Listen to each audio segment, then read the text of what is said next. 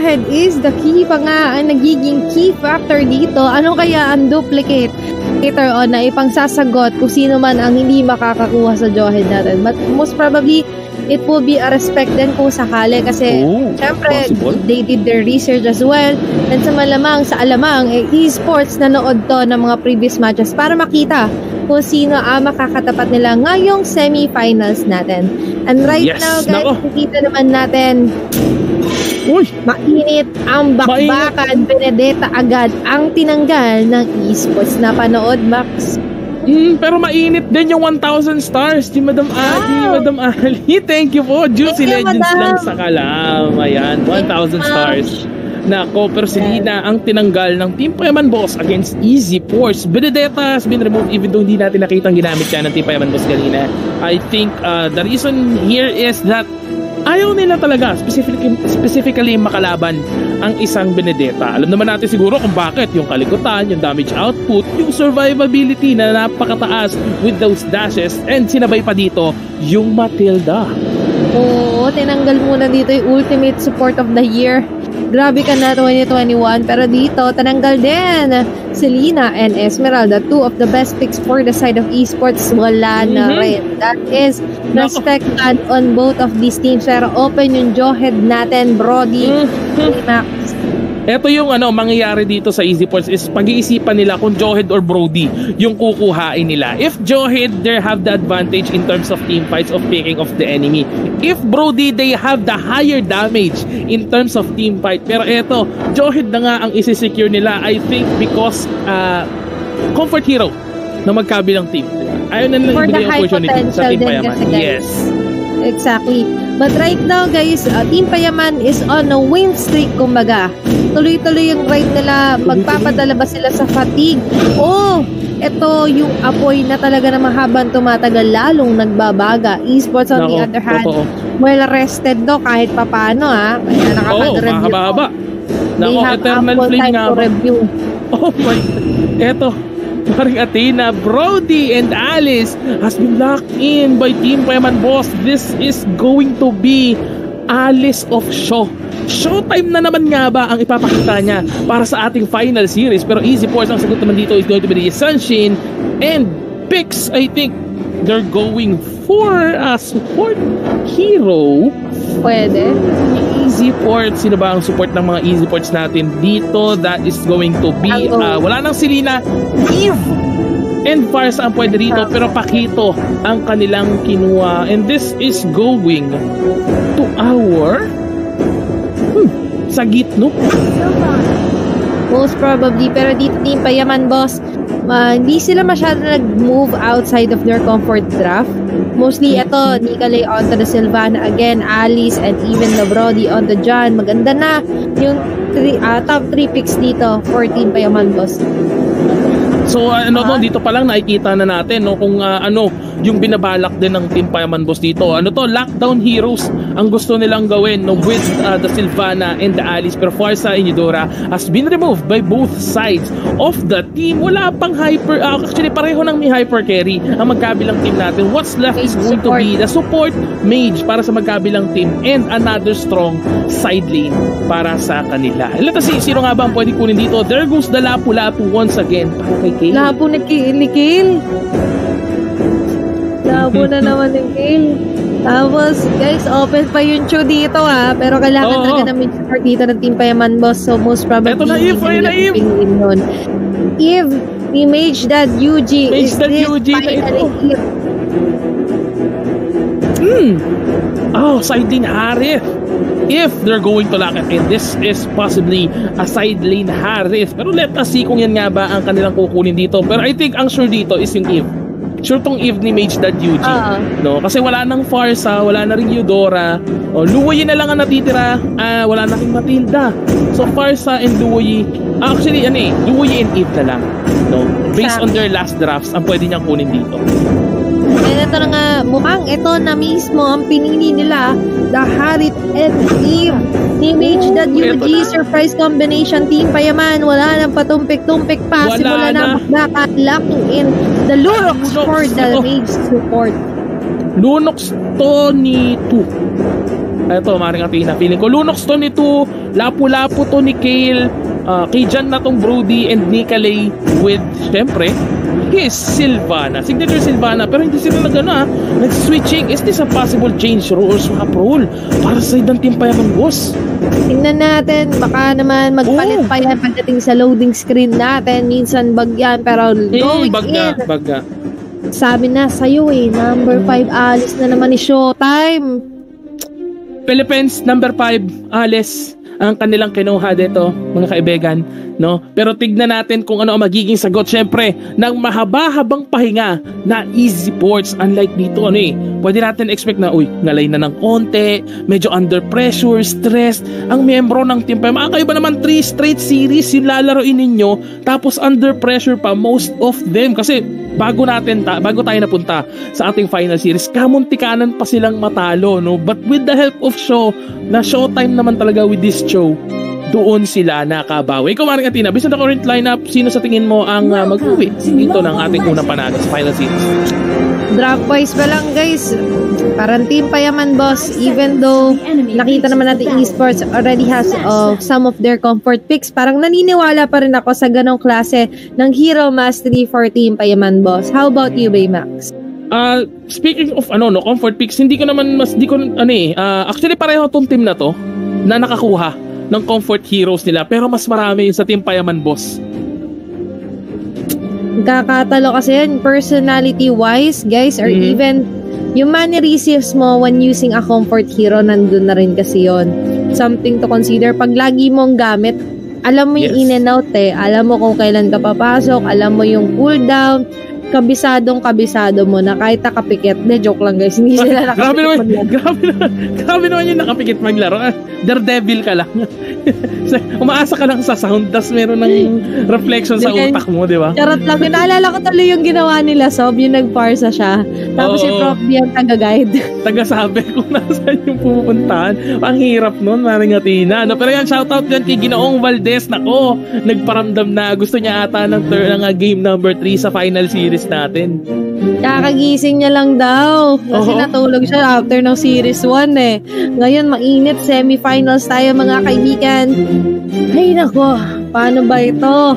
Isa lang syempre pwede magkamit ng slot for the grand finals. Waiting na doon ng Pegasus Knights. Pero wait, hindi lang sila ang pwedeng manalo. Pati ang mga Yes. viewers natin. Meron pa tayong mamayang isa pa yatang pamigay na 570 570. diamonds. All you need to do is comment down below with the hashtag UC Legends 2021 palag-palag. Pati na rin ay share ang stream in public and be a follower sa Moy May Palaboy page and Mhm. Juicy Lemon Huwag kayong magka-caps lock in terms of typing. Tsaka huwag tayong mag spam kasi maiiwasan kayo. Ayan, kay John Louis Herrera. Ayan. Yan. Ako, Shoutout ayun, kay grabe. Ryan Flores. Tingnan mo, oh. Nakita mo ba yung John Louis Herrera? Nabasahin mo yung comment niya. Napaka, ano, sweet. Ang ano yan, bilis ng comment section. Ay, hindi na namataan. Sayang. Ay, ito, babasahin ko yung sabi niya, ano daw, I love you daw, Athena. Siya daw ang Kenji ng buhay mo. Wow! Kenji Grabe. na boy, parang she's dating the gangster. Athena Oo and nga. Kenji. Yun, Tapos si Baymax ang real name, Kenji pa. Naku po, Talo ka. name na. yun. Kaya, Lugi ka kagad, Lord. Sa real name ko yung Kenji. Ikaw. Alex Fake news. And Etnerol. Hoy, hindi na fake news. Talagang legit. joke lang. Oo, legit. Sabi naman niya. Shoutout kay John Hart Michael. Ayan, aparante. Esports na yan. Kaya nyo yan. Wow, positive comment lang talaga. Sabi Mhm. naman dito ni Franch Esportong, baka pakito ni Cap Virus yan. Wow. Yun, shoutout comfort din kay ano, kay Harold Gongora. Ayan, good evening sa'yo kay Ash. Ano to? Ashley Joy Mendez. Boss, andito si Boss King. Diyan? Talaga? Shoutout kay Boss Ken kung nanonood ka Oo ba nga, si Christian. Gaspar. Ay, talaga? Oo nga, ito nga si Boss King nanonood ka. Ayan, si, Naniniwala. si Boss King nandiyan sa comment section, guys. Ayan. Shoutout kay Boss Ken. Baka naman, de joke lang. Ay, Sorry, Boss King, ha. na. Chinek ko yung profile mo. Na nakita ko i-lives in Let's Bacoor. stop. Tapos nakita ko na yung picture. Confirmed, guys. Boss King is in the house. Good luck na daw sa Team Payaman, boss. Pero eto na, let us go into the land of dawn. Final series for today, Esports versus Team Payaman, boss. Maring Atina, take it away. Nagtatanong, kapamilya daw ba ako kasi tinatanong daw ng mama niya kung kailan ako.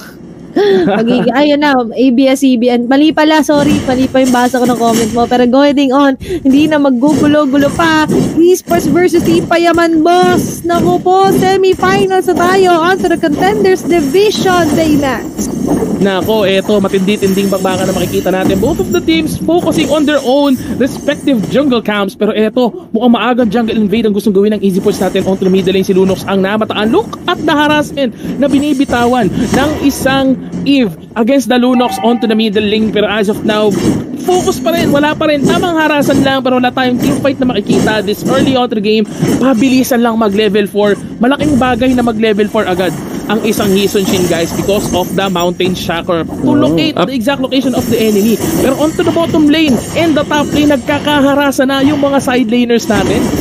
Yun na. Pansinin ko lang, no, two of the most, ano, uh, well-respected community naglalaban pala ngayon. Next Play versus Team Payaman. Parehas to. Talagang go kung go ang support ng Team Payaman or even mga kapaangak sa kawag Oh! Sports, mga ka-hold up. Pero look at that. Talagang hold up ang sinapit ni Kale Don Baymax. Ito yung sinasabi natin eh, na malaking bagay. Kapag nag-level 4 agad ang isang Yishin pero onto the middle lane, muntik ng abutan ng ejector si 2. Pero onto the top lane naman, ang sagot ng Team Payaman Boss dito is going to be the gold plate of the turret. Libreng 350 gold para sa miyembro ng Team Payaman Boss onto the top lane. Wala nang no choice ang Easy Ports kung hindi ibigay to kasi kesa nga naman ma-pick off yung Harith natin at mapag-iwanan in terms of gold farm sa mga minions. TP John onto the top lane still farming was the turtle is being taken by Easy Ports dito sa may bandang baba. Virus nagbabantay lang naman with Nikali. Nikali medyo na pag-iikot-ikot siya dito. Binabantayan niya yung purple buff nung kanyang hyper carry. Uy, nahuli. ang dali ng ejector dito with 2-2 with the light dito para makatakas sa Japan. Ito na yung magic chess board natin nilatag na pero on the back lanes, knockout punch, left hook jab is going to take down the Lunox. Nikali is alive pero naagaw ni Leon Guerrero yung purple buff ng Team Payaman Boss. Maganda yung simula naman dito ah, esports. Out of 164 teams, ito tatlo na lang sila natitira. Waiting na ng Pegasus Knights. Uy. Naku so broadfield, Team Payaman, next play, magandang bakbakan talaga to, gising si Ginoong Valdez. Yun, oh. Nako, Uy! nako talaga namang magigising ka kapag na-pick offan kayo onto the top lanes 3-0 in favor of Easy Ports. Gustong sumagot ng Team Payaman Boss kaso hindi sila makahuli dito kasi yung Jawhead natin nasa Oo. side ng Easy ng Ports. tansya to. Mhm. Tansya-tansya lang talaga, sabi nga ni Sob. Pero maganda kasi dito, sabi ng esports, bumulong. Sabi nila, Atina, kahit ibigay natin yung mga comfort nila kanina, alam namin kontrahin yan. Baka esports to. Oops. Nako. Iba, iba ang galaw ng Easy Force, especially with Beige Dad UG. Yung kanyang real world manipulation sa middle lane kanina, talagang pinupuri dito sa comment section natin. Advance mag-isip. Mga drawing niya, ano to eh, artist. Artist yata to si Beige Dad UG. Ang galing mag-drawing sa ultimate ng kanyang Eve. Pero Mountain Shatter Siyempre. has been popped off once again to locate the location of the enemy. Pero wala nang maisasagot ang Team Payaman Boss on the bottom lane, taking down the turret by Easy Force. Ejector naman, galing kay Johan. Wow! Wala pang isang segundo, namatay na si Paring John with his Brody. Yes. Naku po. Sumagot naman pabalik yung Team Payaman, nag-PM din. Sabi nila, Atina, sa umpisa talaga nagpapabugbog ang bida. Mga bida, So dito oo. guys, all talaga. Kasi pareho silang bida dito sa Juicy Lodge Tournament na naman. Yung one, palag-palag tayo dyan mga kaibigan. Pero Gusto ko yun, ah. one pala, mainit na agad. Mhm. Ang ginagawang rotation ng Easy Sports. Yes, Marang Atina, yung gusto ko yung ginawa nila, no? Or yung uh, ginawa, nangyari, nangyari na yun, no? May contact ka sa magkabilang team. Alam mo yung gusto nila sabihin sa isa't isa, di ba? Pero eto na nga, on to the top lane, another team fight may happen, nahuli na nga dito. Fix! Fix! Ang nagiging target, sumasayaw pa yung Harry natin pero hindi na siya makakapalag against three members. Double Chris kill. Redfield medyo nahuli ng dating. There goes sa double kill para sa idag team. Payaman, 4-2 na tayo sa Broadfield and Marang Atina pero easy push pa rin ang nakakalamang look at the harassment onto the middle lane. Nika Lay can't do anything about the harassment na binibigay ni Chris Redfield. Was onto the top, make it drop. Magpupush yata yung team Payaman pero with the Mountain Shocker and Virus guarding the turret, mapapaback away talaga sila pero Virus talagang gusto makapagpakiramdaman dito sa top lane. Gusto ko yung ginawa ng Team Payaman, isang biglaan, double kill agad, sumagot, sabi. Kayo naman, masyado kayong kabado sa comment section eh. Talaga naman papalag ito, papalag Manipulation with the knockout strike. There goes a double kill para kay Pakito on the top lane. 6 to na tayo. The turret is going to be taken down as well, guys. Grabe, easy points to. Mahaba-haba talaga ang pahinga. Yes. Malumanay pa yung galaw ng mga daliri nila kasi nga Aha. hindi pa sila under pressure dito sa ating tournament. Nag-PM ulit ni Max, may nag-text, Nag-PM sabi.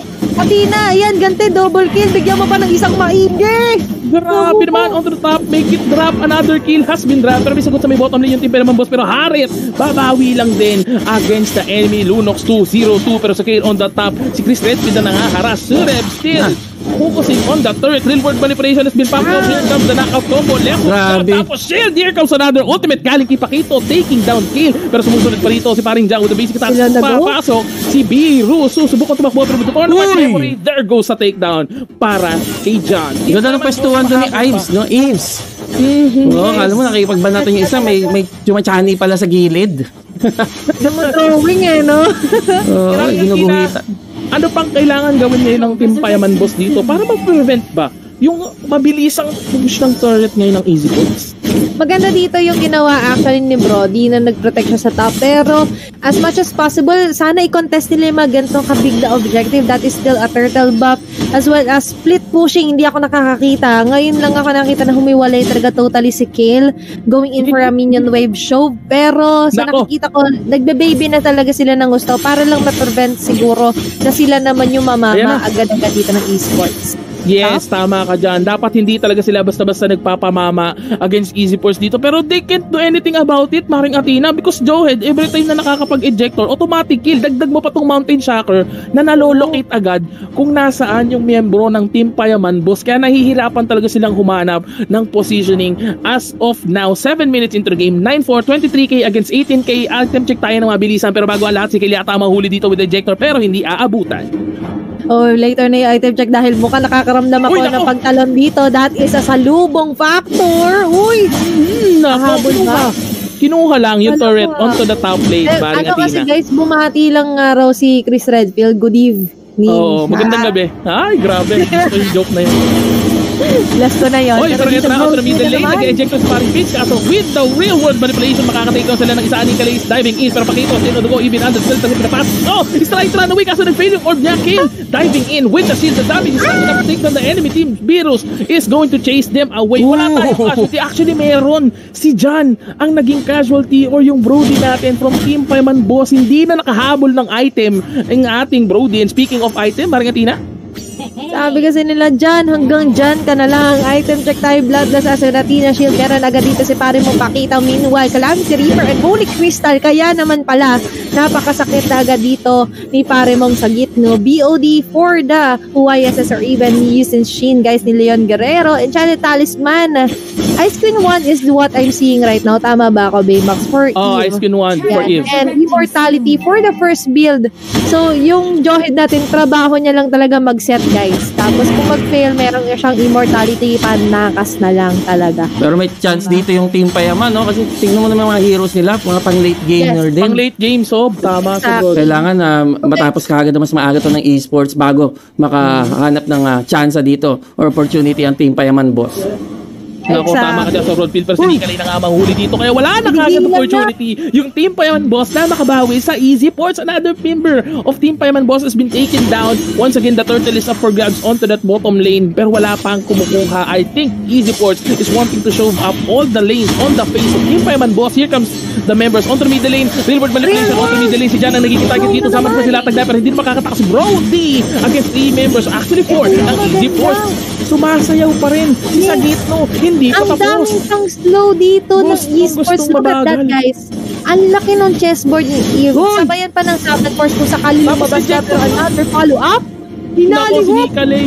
Si Nikalay hindi tumama. Yung Imperial Justice almost all the gates are open. Top lane na lang ang natitira. They're still trying their best para dumepensa dito. Pero look at the harassment of Virus with that Pakito, Pakito, Pakito. Swabe-swabe dito. Sabi ni ate Bibimbap. Pero dito sa top lane, gusto na nila ang tapusin ang laban. Another gates is going to be open. Grabe Bukas na ang bahay. Pwede na kayo mamasko sa Team Fireman Boss. Pero on the middle lane, focus muna sa jungle camp ng kalaban ang Easy Force. Dito sila ngayon mapihirapan. Dito sila mamemerwisyo. Paano pa sila ngayon babawi in terms of gold and item. Kung yung mismong jungle camp nila naubos na ng Easy na kayo nakakasahan kasi dito ng Team Payaman Boss setup coming from Nicolay kaso medyo wali pa yung mga Imperial Justice niya dito sa mapa ng mga Cometic Lands. Right now guys that is 38,000 versus 25,000 sa Gitno. Single-handedly giving a headache and pressure against Team Payaman Boss sabi kasi ni So Broadfield hanggat maaga tapusin na namin kasi pang late game talaga ang draft dito ng Team Payaman. Boss. and that's what they're Ano doing. Ma- very minimal yung nakikita natin mga mistakes. Halos hindi na nga mapansin guys eh. Totoo. Masunurin, masunurin yung Easy Force Mari Anina, uh, Mari Atina, no? Magaling sila makinig sa mga ano, yung mga coaches ganyan. No? Kahit kay Sod Rodfield, nakikinig sila na gusto na tagad-tagad tapusin ng Easy Force. Lahat ng miyembro ng Team Payaman Boss is up and alive, still Naku. kicking on their base, trying to defend pero makakaroon tayo ng setup dito. Inaabangan ko na lang yung real world manipulation na ilalatag. Yung parang Chris Red Peter. Ba? Hoy! Knockout strike na bitaw na makita natin dito si Kale. Nagis! mamamatay. Here comes the real world manipulation. Diyan ang naging target pero pumasok sa likod. Yung ating Alice pero that is not enough to take the members down. Nick is the only one left right defender base pero hindi niya nakakayanin. Naging the member of Easy Force taking them, taking down game number one dito sa Grabe. ating semi